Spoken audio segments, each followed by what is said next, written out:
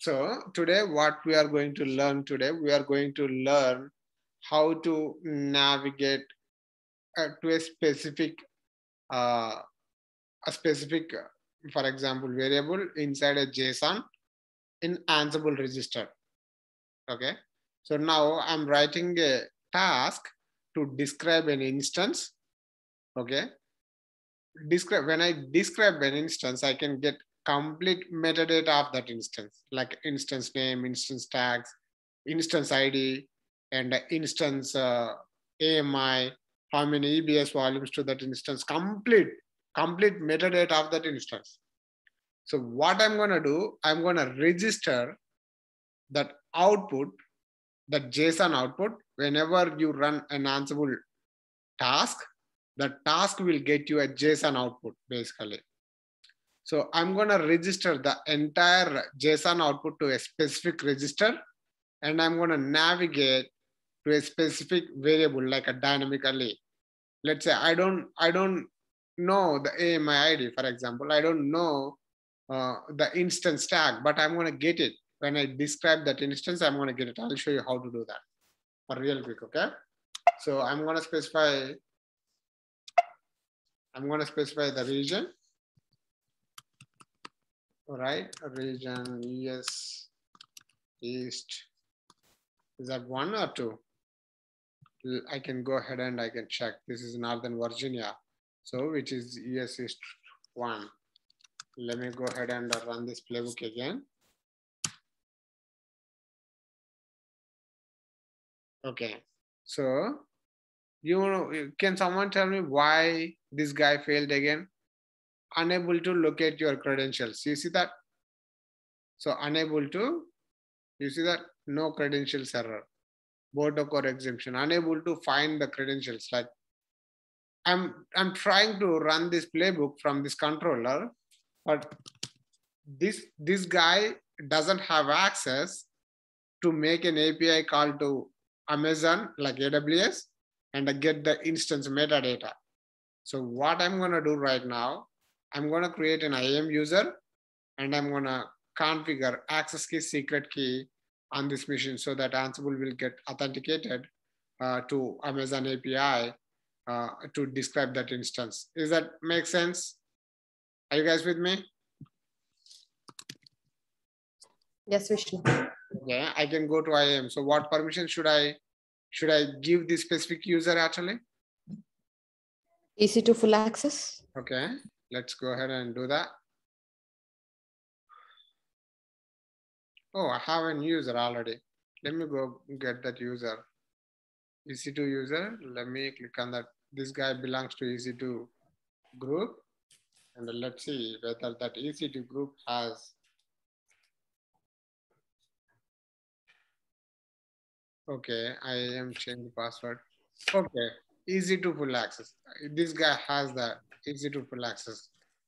Okay, now let's go create a key. Let's try to create a key. Okay, let me, okay. I'm gonna, what I'm gonna do, I'm gonna copy that access key right now. I'm going to configure it.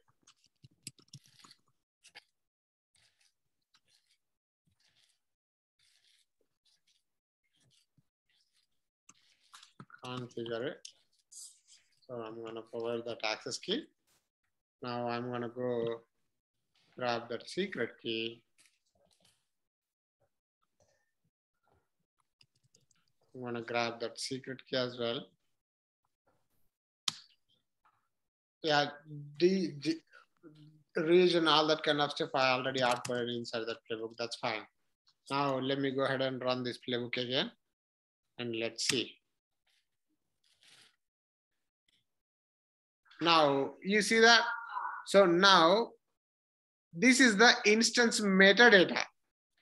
You see that this is the instance security group and this is a network interface of that specific instance. And uh, this is a volume ID of that instance. Like I have everything. I have a complete instance metadata. You see that what type of instance is this t2.micro. So what I'm going to do, I'm going to register this entire output of that uh, specific task to a specific register. Okay. So how I'm going to do that is I will add simply, I will add a register to that task. That's it. Very simple. So that register, it doesn't belongs to a specific module. Okay. It's not like a, it, it, it belongs to a complete task actually.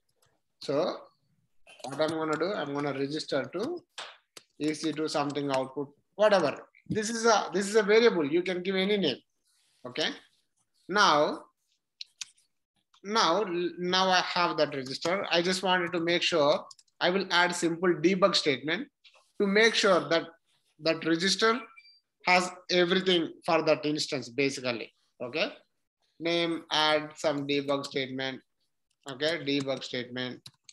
I will add debug statement. Then debug is a module. Debug is a module and I'll just put simple message and I will add variable. This is variable, right? We don't know that output of that register, right? And that can be variable because we don't know that. We don't know until the task has been executed. Once the task has been executed, then you will know, right? But you don't know that. But still you wanna pass that output to your next task, but you don't know that, right? Let's, let's see the magic. This is very simple. Let's go ahead and run this playbook again. so we should see the output. You see that add some debug statement. So that debug statement has a complete output of that instance metadata. Okay, now I wanna print, for example, I wanna print instance ID from here. Okay, I wanna print instance ID from here the way you should do it, okay, the way you should do it, let me go ahead and add a task to print the instance, instance ID, okay? What I will do, I will grab this, I will grab this instances, you see that from here, this open bracket, right? This is where actual output will start. This open bracket, right? You see that open bracket? This is the place where actual output starts actually. Under this open bracket, you see that these are all belongs to the same umbrella. Like these columns all belongs to the same umbrella. You see that all of this belongs to that, that instances basically, okay? And let me go, let me see, it's very simple. This is very simple. For that, what I will do, I can just simply copy these instances. Okay? Copy instances. And I can go ahead and describe ec2.yaml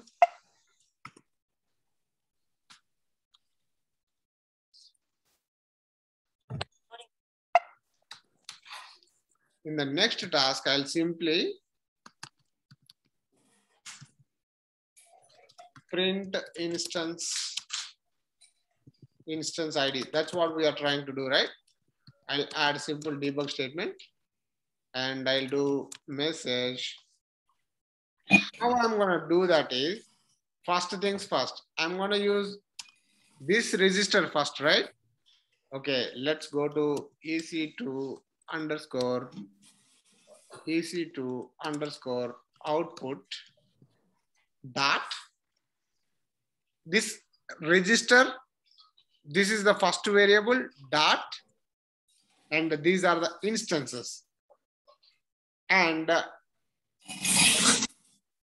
and what we are trying to print we are trying to print instance id right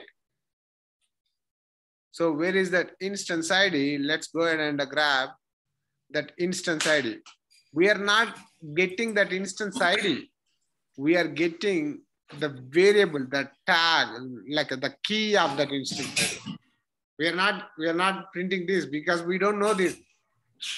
Okay, so let's go grab this. And uh, let me add that to here.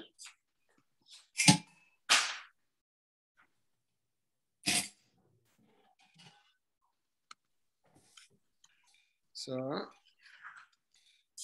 let's go ahead and run this.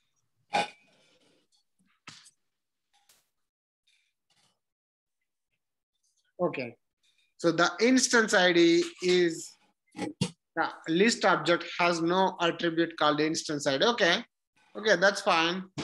Okay, that's fine. Let's let's see what we need to do. We need to specify. Okay, this instance ID inside instances is a zeroth element.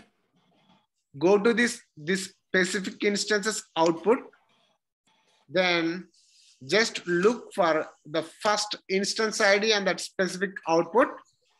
That means this is a, if you have a list with a zero, that means least zeroth element, zeroth element, that means the first element, okay?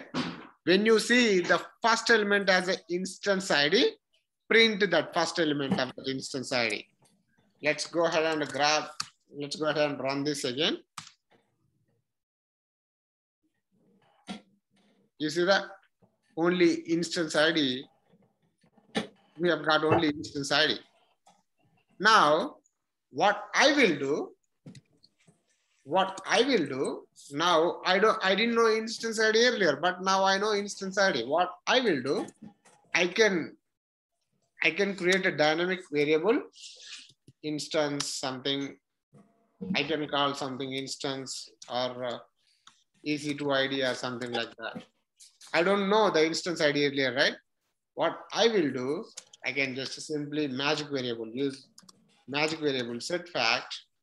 Now I wanna, I wanna, uh, for example, let's say, I wanna add a tag to that instance ID, right? I wanna add a tag. What module should I use? Name, add tags to EC2, Okay. What module should I use to add a tag? Add tag. EC2 EC2 tag. uh, Underscore tag. right? EC2 underscore tag, and I would have to provide resource ID, right? Resource or resource ID. What I would do, I can go, I don't use uh, own whatever, but I can go ahead and grab the details, right? I can go, I can just simply go there and I grab those details.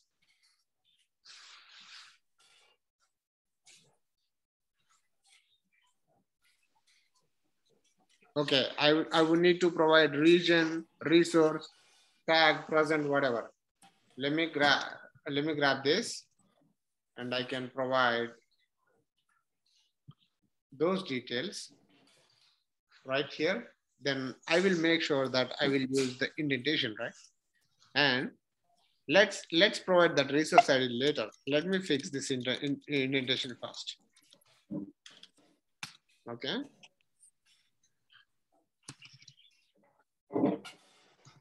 Those belongs to that EC, right? And I need to make sure they're inside that. I don't know what that Uber but I can change it to Ansible base or something like that. Ansible base image or something like that. Okay, and this is a part. Just right there. Okay. Now the resource ID is a tricky part. We don't know the resource ID, right? You don't know the resource ID until you get your output in the first task. But after you have your resource ID and everything, but you're not going to go back and get that resource ID every time, right? What you can do, since it's a variable, dynamically you can pass that variable. This is the variable ID. This is a variable basically, okay? You can pass that variable right here. So whatever, you don't know instance ID. You don't have to know instance ID this will print instance ID and you'll be passing that variable as a resource to this add tags. And then let's go ahead and run this playbook and let's see what happens.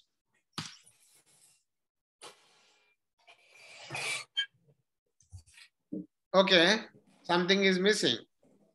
EC2 tag module requires region. Okay. So what should I do here? Ramya, can you can you help me? What should I do? Just add the region to the code. Okay. Let's go ahead and add the region to the code.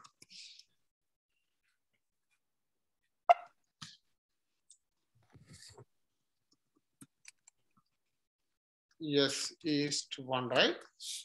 That's Northern Virginia, US, East one. Okay, let me go ahead and run this playbook again. Let's go ahead and verify whether those tags has been added to our instance or not. Okay. What I will do, I can just simply go to EC2 dashboard.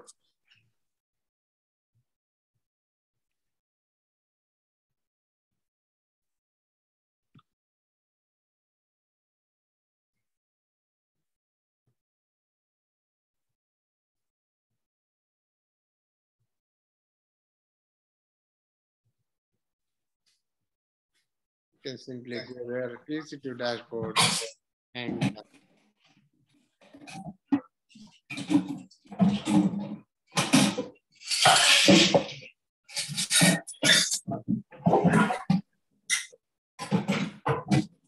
You see that Ansible base, if I go to tags, I have two, name Ansible base and uh, ELV dev. Are you guys with me? Yeah. Okay, so what I'm gonna do, I'm gonna cap, describe, and I'm gonna share this inside a chat so you guys can save it. Any questions? Any questions, Ramya? How to pass? Parse. This is called parsing a variable. Like you don't know the variable, but you still can do it, right? Let's say I want to tag the EBS simple. So now, and now I need help. Okay. Now I want to tag the EBS volumes as well. Okay. Can someone help me? Can someone help me? What module should I use to tag EBS volumes? First things first.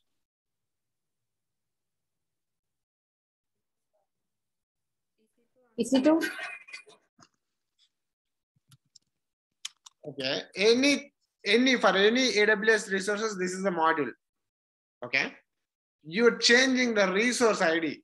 Instead, now you have instance ID, but you're changing to EBS volume ID. That's it. Add tags to EBS volumes, right? And same EC2 tag, right? And a resource. Is that spelling right? This can be, this is a variable. We don't know that, we, don't know that uh, uh, EBS volume ID, right? We don't know that yet, but we are gonna find out. And region US east one. And what else? We're gonna provide the state, present,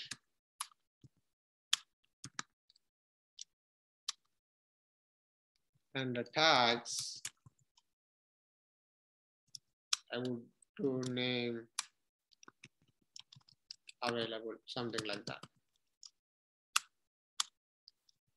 Uh, is it a capital N Vishnu name or anything? Uh, it can be anything, it's just a tag. Basically, it's, a, it's a key.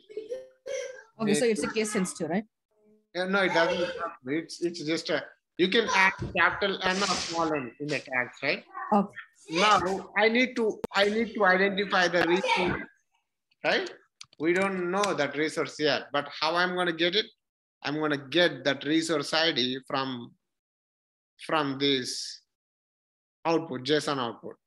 So this is the volume ID. We're trying to update tags to the volumes, right? And this is the volume ID. Oh, now this is tricky. So I need to provide this and inside that have this, okay? And inside that, I have, actually inside that I have this, and inside that I have this. Oh, this is tricky. This is, this is interesting. Let's, let's go and let's see how we can do that. So the first thing is let's provide this Okay.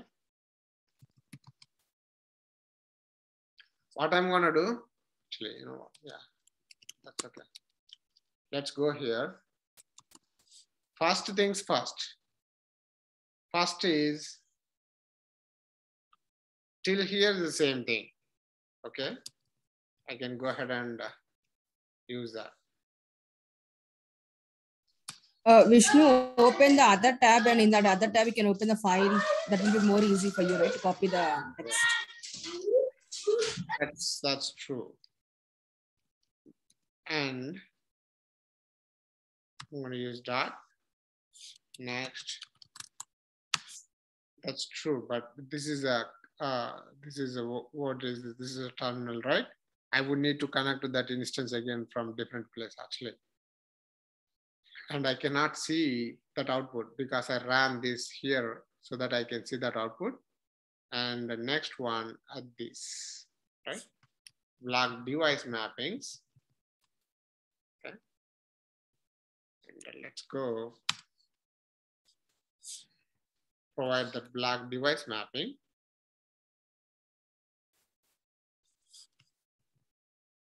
And zeroth element in that block device mapping, right?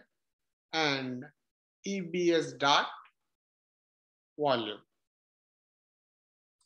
Let's see whether it's going to work or not. EBS dot volume ID. Right? How I can say EBS dot volume ID because so we have we have block device mappings. Inside block device mappings, we have EBS, then volume ID.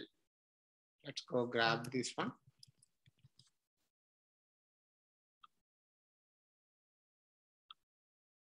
And let's try to provide this here.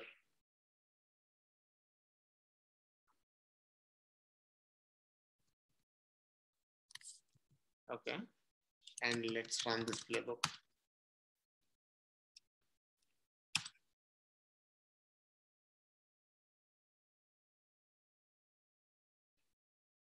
Okay, let's go check this resource ID, right? And go back to AWS, go back there. Where is it? EBS volumes, right? That's what we are trying to do. Let's go EBS volume. If you check the tags, you see that Macy's man name is available. Are you guys with me? Yes, Vishnu.